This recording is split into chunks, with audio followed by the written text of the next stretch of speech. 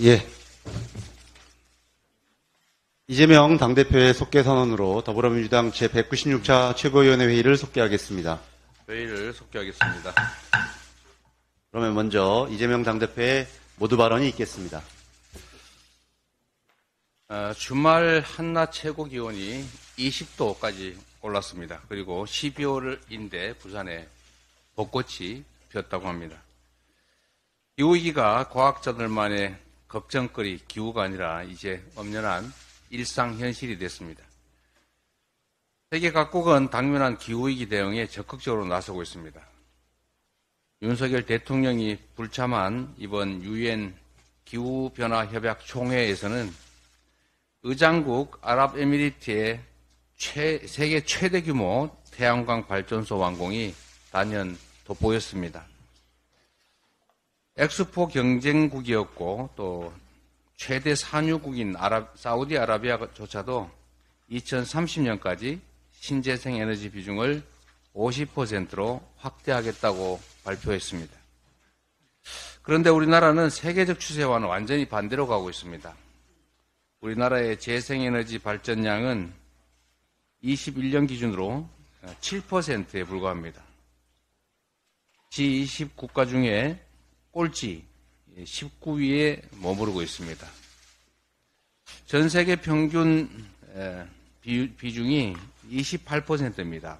아, 그런데 대한민국의 재생에너지 생산 비중은 7%, 4728 하면 4분의 1에 불과하다는 참으로 황당한 상황입니다. 그런데도 정부는 올 1월에 재생에너지 비중 목표를 기존 30%에서 21.6%로 내렸습니다. 참 걱정됩니다. 다행인 것은 이- 정부가 이번 총회에서 7년 내에 재생에너지를 3배로 늘리겠다라는 서약에 서명했습니다. 7년 내에 3배로 늘리면 37, 21, 38, 24, 한 20 몇 퍼센트 되는데 현재 평균에 여전히 못 미칩니다. 우리나라의 재생에너지 목표 비중 또는 재생에너지 현실을 적나라하게 보여주는 것 같습니다. 그런데 말 따로 행동 따로 또 걱정됩니다. 말이 아닌 실천이 중요합니다. 이미 말씀드린 대로 기후 에너지부 신설을 포함해서 정부 에너지 정책 기조의 전면적 전환을 촉구합니다. 일본 정부가 위안부 피해자들이 제기한 소송에서 최종 패소하고도 반성하기는커녕 뻔뻔한 무대응으로 응수했습니다. 오히려 한국에 적절한 조치를 요구한다라면서 적반하장식 태도를 보이고 있습니다. 전쟁 범죄 피해자들의 목소리도 대법원 판결도 무시하는 윤석열 정부의 대일 굴종 외교의 결과물입니다.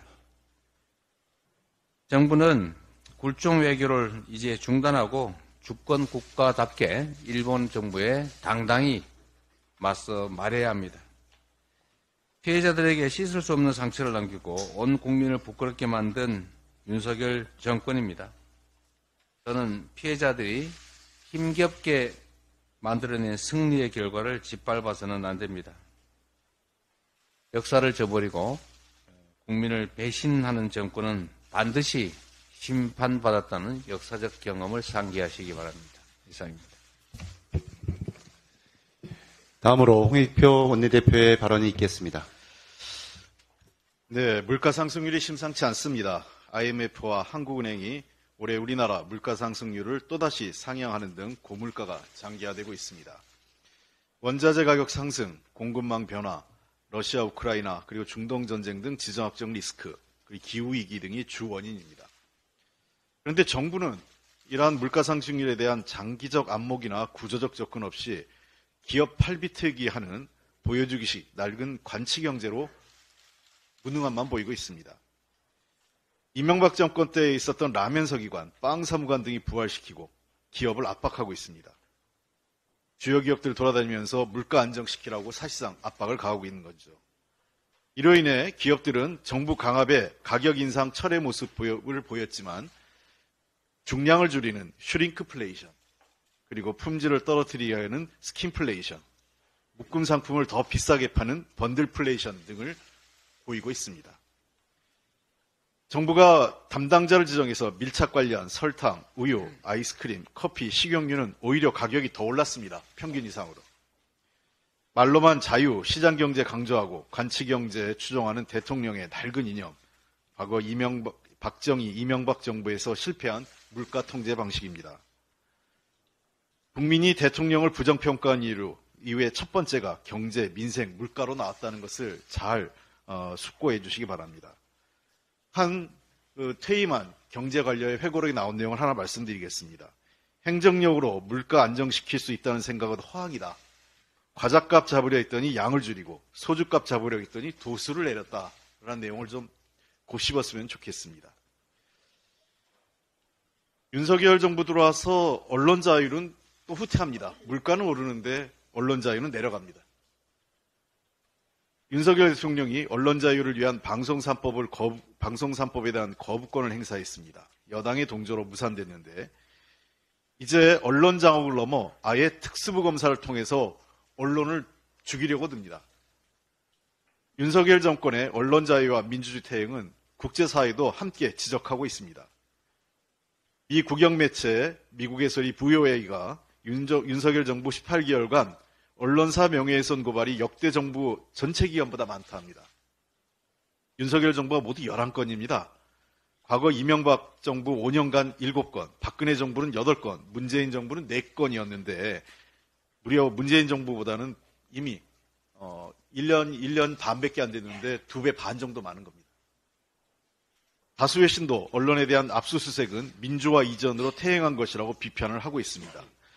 이미 유엔과 미 국무부도 윤석열 정부가 명예훼손법을 사용해 언론을 검열했다고 지적하고 있고 우리나라 언론 자유 지 수는 1년 만에 세계 47위로 하락했습니다. 검찰이 대통령의 비판 보도가 명예훼손이라며 특별수사팀까지 구성해서 압수수색 등을 반복하고 있습니다. 정말 후진국에서나 있을 일입니다. 이명박 정부 시절에 PD수첩, 미네르바 사건이 반복되고 있는 것이죠. JTBC, 경향신문, 뉴스타파, 뉴스버스 등 언론사와 기자 압수수색이 이제 일상화됐습니다. 민주화된 사회에서는 있을 수 없는 풍경입니다. 윤석열 대통령은 언론 민주주의 기초부터 공부해 주시기 바랍니다. 자신의 심기가 불편하다고 검찰을 동원한 언론 탄압으로 나라 망신 그리고 언론 장악 이제 더 이상 하지 마십시오. 언론 자유와 민주주의 제자리로 돌려놔야 합니다. 더불어민주당이 언론 자유와 민주주의를 끝까지 지키겠습니다. 근데 이 과정에서 한 가지 말씀드리고 싶은 분이 있습니다. 이제 조희대 대법원장이 본격적으로 임무를 시작하는데 청문회에서 청문회장에서 구속 수사, 수사나 압수수색 영장 발부와 관련해서 제도적으로 보완하겠다라는 의사를 밝힌 바 있습니다. 좀잘좀 해주셨으면 좋겠습니다. 기본적으로 지난 이용훈 대법원장 이후에 우리나라는 불구속 수사 원칙과 공판 중심주의가 자리 잡혔는데 이것이 최근 사법부가 이런 의지가 후퇴한 거 아니냐 이런 지적이 있습니다. 아울러 압수수색 영장이 무슨 민원 서류의 자동 발급기도 아니고 사법부가 이렇게 내주는 경우는 없습니다. 아까 말씀드렸던 언론사나 또는 국회 또 여러 시민사회단체 등 공익기관에 대해서도 압수수색 영장이 그저 그냥 검찰이 요구하는 대로 다 발부됩니다. 사법부는 검찰과 또 다른 잣대가 있습니다. 검찰 입장에서는 압수수색 영장 발부가 필요하겠지만 사법부는 해당 대 상자의 압수수색 대상자의 인권, 합리적인 수사 필요성과 발급 요건 등을 꼼꼼하게 살핀 다음에 압수수색 영장을 발부해야 되는 겁니다. 사법부가 검찰 권력의 신여가 아니라는 것을 보여주십시오. 조희대 대법원장이 그 역할을 하셔야 되는 겁니다. 한 가지 더 말씀드리면 개시경 종식법이 이번 주에 농해 수위를 통과하도록 할 것입니다. 어, 육견 업체나 어, 관계자 그 관련 종사자들에 대한 어, 전업 지원, 경제적 보상 등 방안 등에 대해서 정부 여당이 구체적인 안을 제시하라고 했지만 계속 소극적이었는데요. 이번에 우리 당에서는 어, 그 농해 수위에서 육견업체나 관계자들에 대한 국가적 재정 지원을 의무화한 법안을 통과시키겠습니다. 구체적인 내용은 대통령령으로 정해서 법안을 통과시킬 것입니다. 어, 더 이상 어, 정부를 기다리지 않고 국회가 능동적으로 움직이겠습니다. 이상입니다.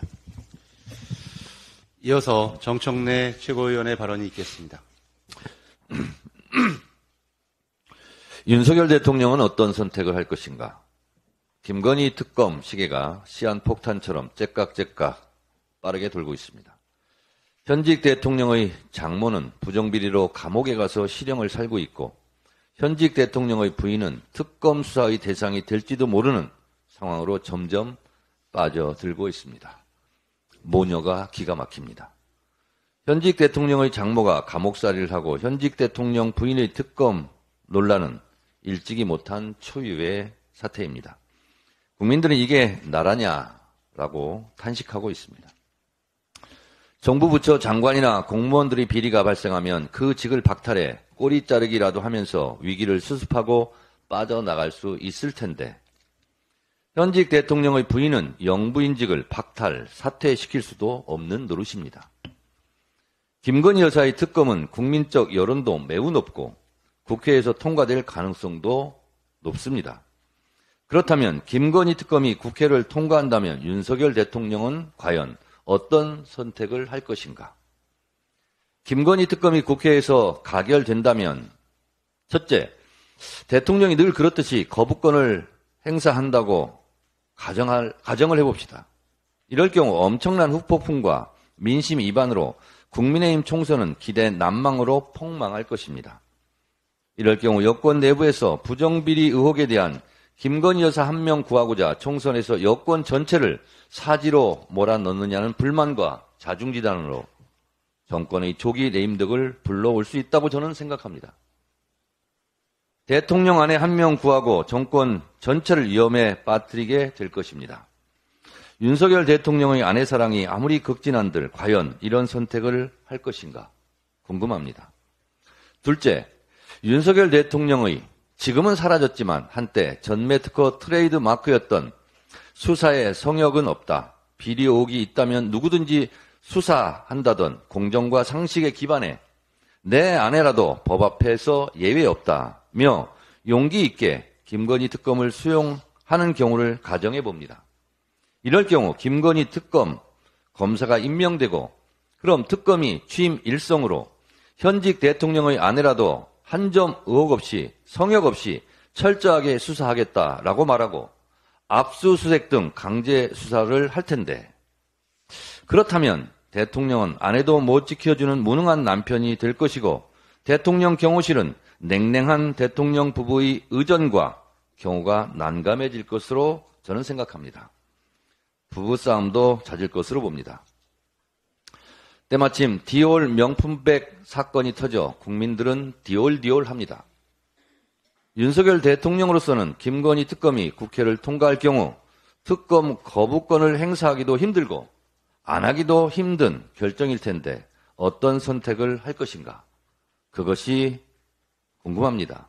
참으로 궁금합니다. 교수들이 꼽은 올해의 사자 성어가 결리망의입니다. 이로움을 보자 의로움을 잇는다는 뜻입니다. 윤석열 대통령은 견의 망리, 의로움을 보고 사사로운 이로움을 있기를 바랍니다. 그런 선택을 하기를 바랍니다. 다음으로 고민정 최고위원의 발언이 있겠습니다.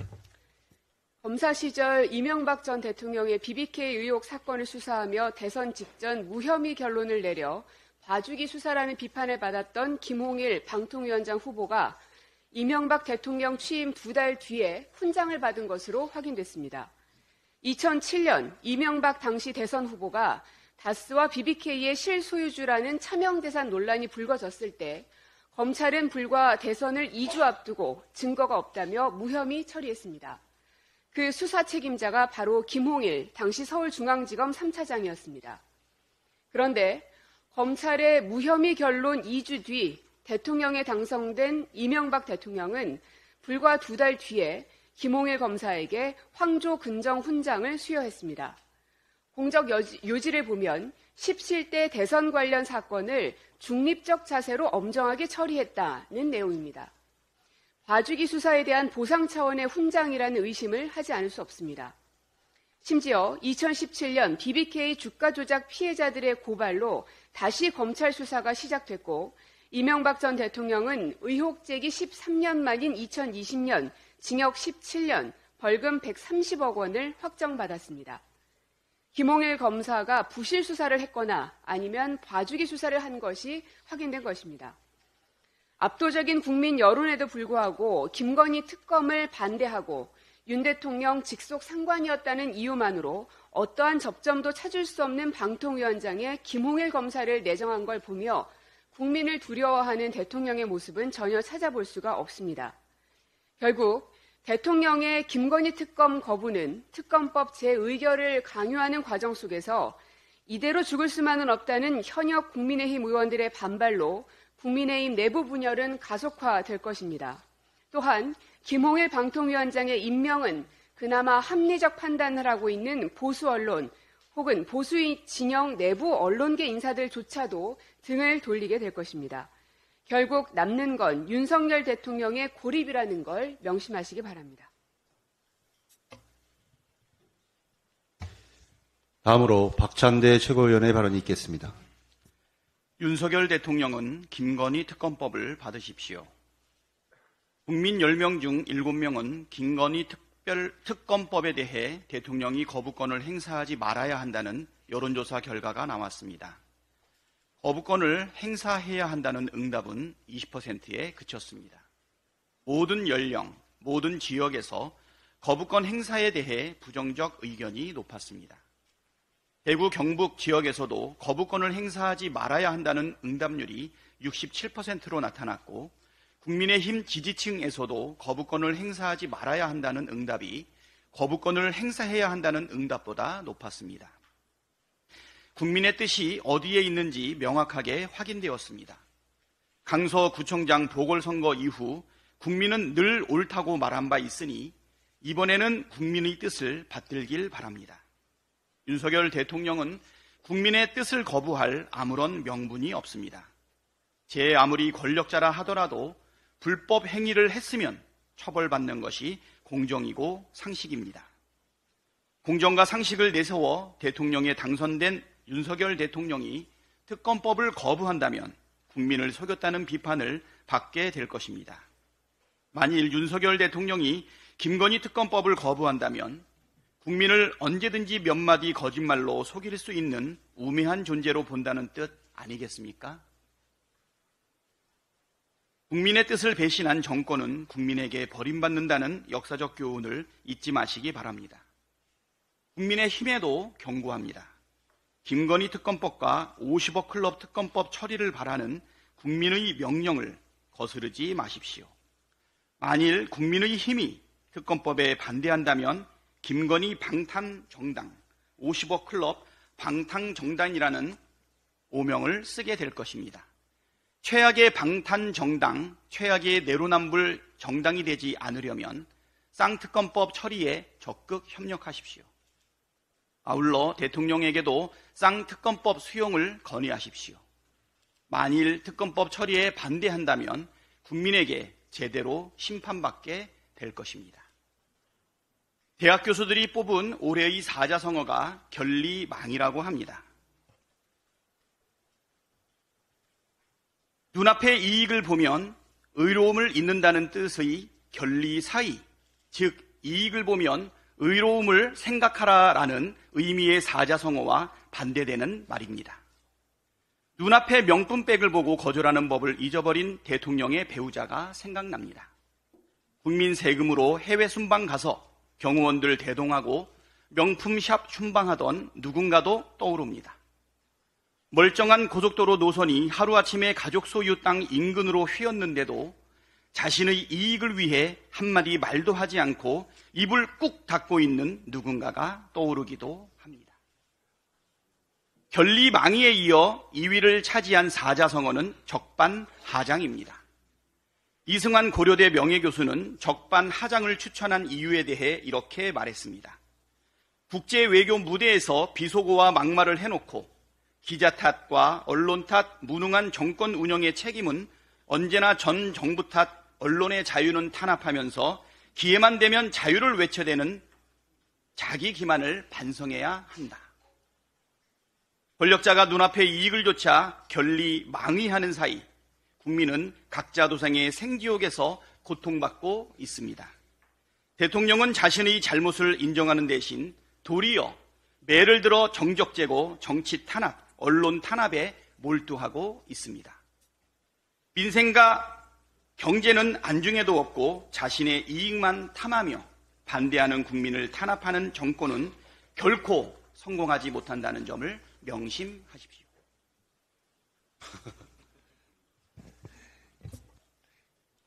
이어서 서영교 최고위원의 발언이 있겠습니다. 단연 지난주 화제는 김건희 윤석열 대통령 부인에 대한 특검이었습니다. 윤석열 대통령은 김건희 특검법 거부하는 내용 꿈도 꾸지 마십시오. 거부권 행사 꿈도 꾸지 마십시오. 국민의 요구에 의한 쌍특검 통과로 대한민국의 정의를 바로 세워 나가겠습니다.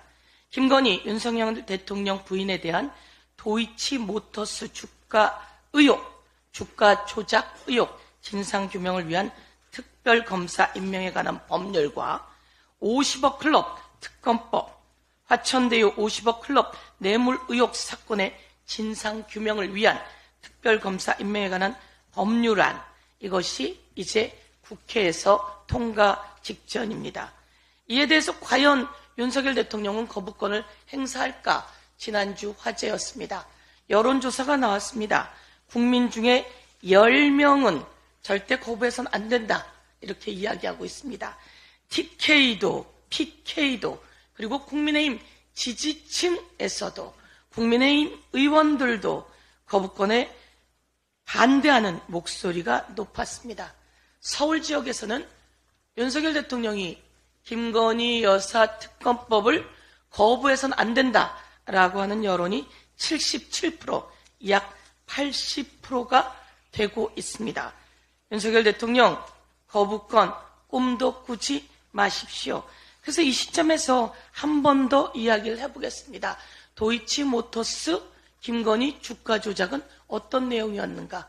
여러분 기억하십니까? 김건희 여사가 이야기합니다. 전화 왔어요? 아, 예, 전화 왔습니다. 그러면 지금 사세요. 라고 이야기를 합니다. 그리고 오늘 판을 한번 더 들어보도록 하겠습니다. 김건희 여사의 엄마의 이야기입니다. 응, 거기서 내 거 그냥 다 팔아. 싹 다 팔아. 혼자만 알고 있어. 3,500원 밑으로 회장이 딜을 해 놓았대. 이거 주가 조작 아닙니까? 주식을 어차피 떨어뜨리지 않으면 성사가 안 된대. 아는 사람에게는 팔으라고 하고 미운 얄미운 사람 엿먹으라고 내버려 둔대. 이게 대통령 장모가 할 소리입니까? 이 주가 조작입니다. 이렇게 주가 조작을 하고 바로 도이치모터스 임원이 2만 5천 주를 팝니다. 그리고 최은순 윤석열 여사 장모가 6만 2천 주를 팝니다. 바로 32초 만에 이것을 매수하는 사람이 있습니다. 그 사람이 누굽니까? 김건희 계좌에서 바로 32초 만에 매수합니다. 국민 여러분, 이거 누가 할 수 있습니까? 주가 조작 아니면 이거 누가 할 수 있습니까?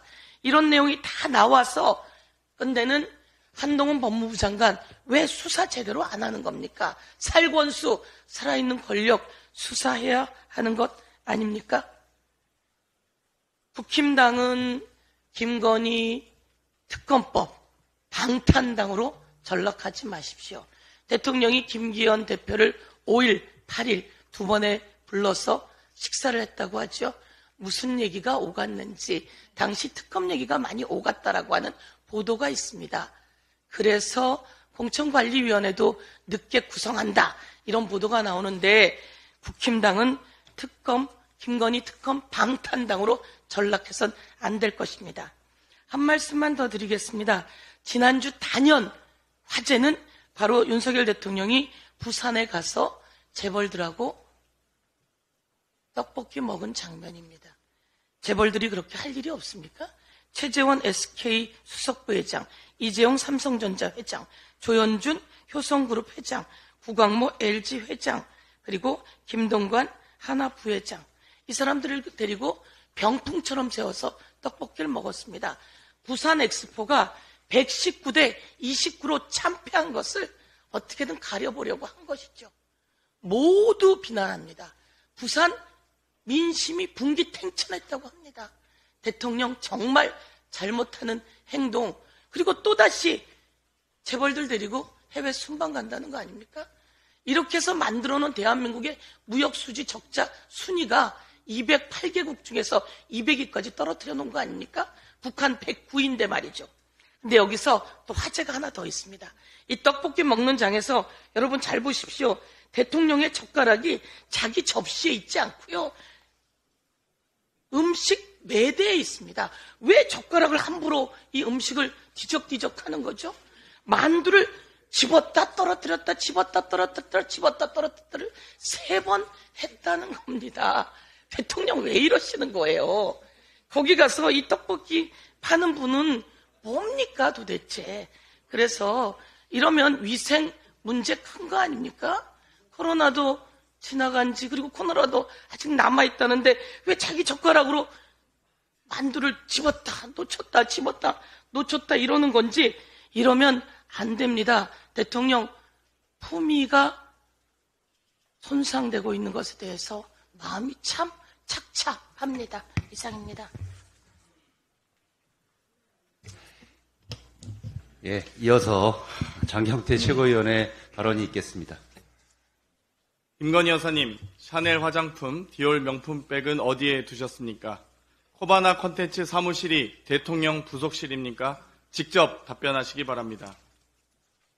뉴욕타임즈에 이어 미국 국영 매체인 미국의 소리도 윤석열 정부의 언론 대상 명예훼손 법적 대응이 역대 정부 최대라는 내용을 보도했습니다. 미국의 소리는 윤 정부는 비판적인 언론인과 언론 매체를 기록적인 속도로 형사고발하고 있다며 강하게 비판했습니다. 이 정도로 대한민국이 전 세계적인 망신을 당한 적이 있었는지 참담한 마음이 가득합니다. 윤석열 대통령 취임 이후 정부와 여당은 언론사나 언론인을 상대로 최소 11건 이상의 명예훼손 관련 법적 대응을 했습니다. 임기 시작 1년 7개월여 만에 문재인 정부 4건, 박근혜 정부 8건, 이명박 정부 7건과 비교해도 압도적인 수치입니다. 미국의 소리는 지난해 윤석열 대통령의 비속어 논란을 설명하며 정부와 여당 관계자들은 MBC 직원을 명예훼손 혐의로 민사 1명, 형사 2명 등 3건을 검찰에 고소했다는 내용을 담았습니다. 전 국민 듣기 평가를 실시하며 언론을 고발하고 입을 막았지만 미국 언론은 막을 수 없었습니다.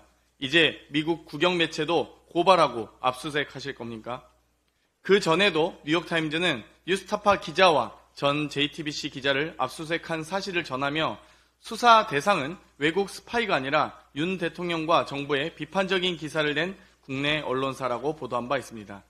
심지어 1990년대 한국이 민주화된 이후 이런 조치를 취한 적은 거의 없었지만 윤석열 대통령이 취임하면서 상황이 바뀌었다고 말할 정도입니다. 법에도 없는 가짜뉴스 운운하면서 언론에 재갈 물린다는 언론 보도에 대해 언론 자유를 지키겠다는 대통령실의 해명을 보면서 오늘도 뚝뚝 떨어지는 국격을 걱정합니다.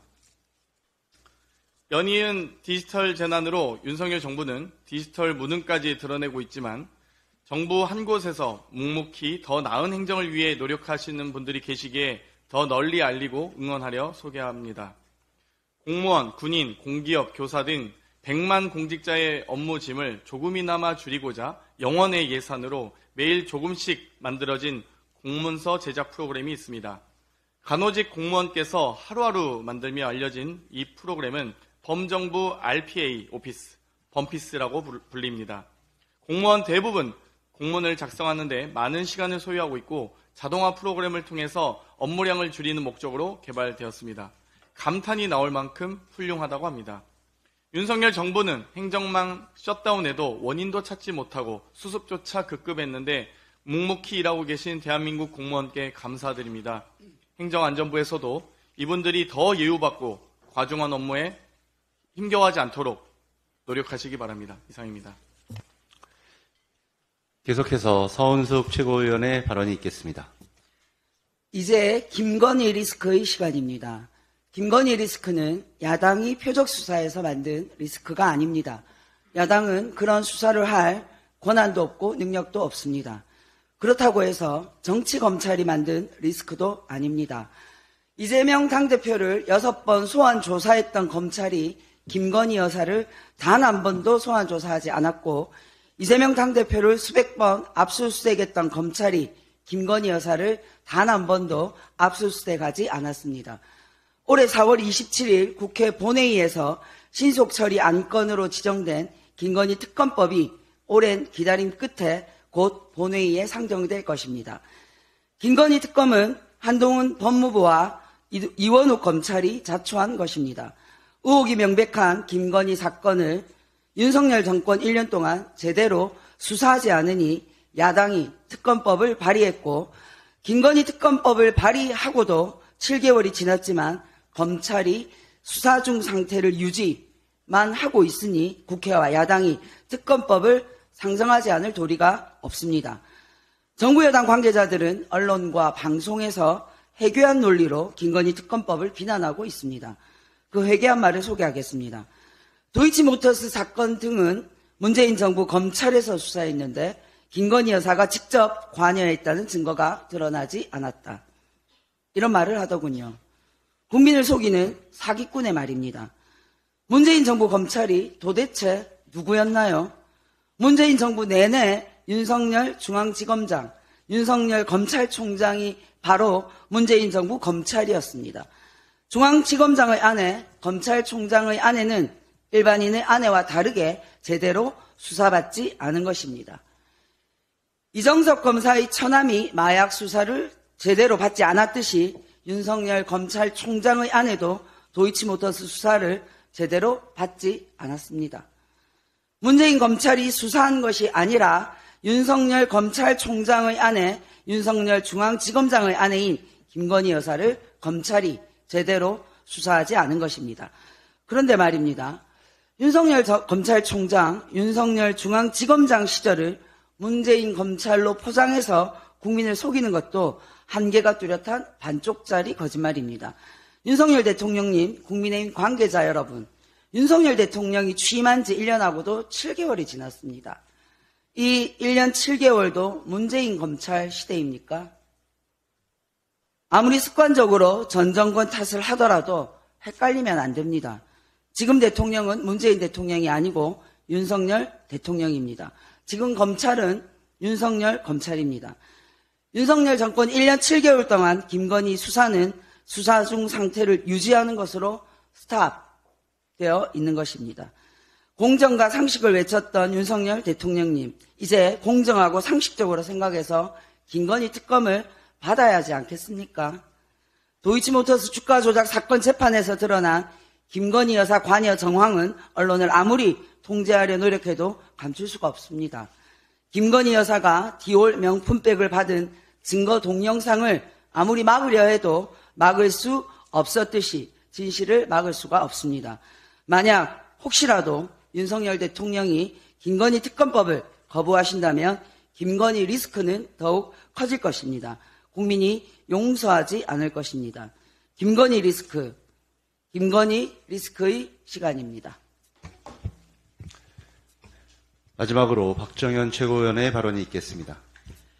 KB국민은행은 대전 지역 콜센터 상담원 240명을 고용 승계할 책임이 있습니다.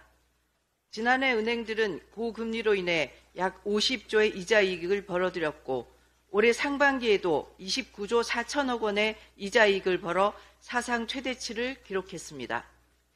국민, 신한, 하나, 우리 등 4대 은행의 이자 이익은 16조 6,597억 원으로 역대 최고 수준이고 그중 KB국민은행이 4조 8,103억 원으로 가장 많은 이자 이익을 벌어들였습니다. 이런 KB국민은행이 대전 지역 콜센터 상담원 240여 명을 추운 거리로 내몰고 있습니다. 국민은행은 올 연말 계약 기간이 끝나는 8개 콜센터 용역 업체 중 5개 회사만 선정했고 선정이 되지 않은 3개 업체 중 서울 지역 앞으로의 콜센터 직원은 고용 승계됐지만 유독 대전 지역 그린 CS와 제니엘 직원 240여 명에게는 고용 승계 없이 일방적으로 해고 통고를 해 대전 지역 콜센터 상담원과 대전 시민들의 분노를 사고 있습니다. 더구나 재계약이 되지 않은 업체들은 노조가 결성되어 활동하거나 노조 지부장이 근무하는 회사라는 공통점이 있습니다. 그래서 재계약이 확정된 용역업체에서는 콜센터 직원들이 노조 활동을 하니 재계약이 안 된 것이라고 하면서 직원 길들기로 활용하고 부당 노동 행위를 일삼고 있다고 합니다. 그동안 금융권의 콜센터 상담원들은 정부에서 권고하는 휴식 시간도 없이 올해 초 금융권의 성과급 잔치를 부러워하며 최저 시급과 경무에 시달리고 있습니다. 콜센터 용역업체 계약 만료 때만 되면 고용승계 문제로 밤잠을 설쳐야 하고 고용승계가 되어도 재계약을 못한 기존 업체로부터 밀린 월급과 퇴직금을 받지 못해 금융연체가 되는 불이익도 감당해야 합니다. 콜센터 상담원들은 용역 업체의 직원이지만 모든 업무 지시를 원청인 은행으로부터 직접 받고 있습니다. 그렇다면 콜센터 상담사들의 진짜 사장은 누굽니까? 고금리로 사상 최대의 수익을 남긴 국민은행은 고용 안정에 기여해야 할 사회적 책임이 있습니다. 국민은행은 용역업체 입찰 공고에 용역 인력의 고용 승계를 조건으로 내걸었던 만큼 대전 지역 콜센터 상담원 240여 명 전원이 고용 승계되도록 책임 있는 대응을 하시기 바랍니다. 윤석열 대통령과 정부는 수많은 하청업체 노동자와 플랫폼 노동자들이 불안정한 노동 환경과 처우로 눈물 마를 날이 없는 현실을 직시하고 노란 봉투법에 대한 거부권을 철회해야 합니다. 민주당은 국민은행 대전 지역 콜센터 상담사들의 고용 승계와 하청업체 노동자, 플랫폼 노동자들의 고용 안정과 처우 개선을 위해 함께 노력하겠습니다. 이상 발언을 모두 마치고 당대표께서 제191차 최고위원회 회의를 정회하시겠습니다. 네, 매일 마치겠습니다.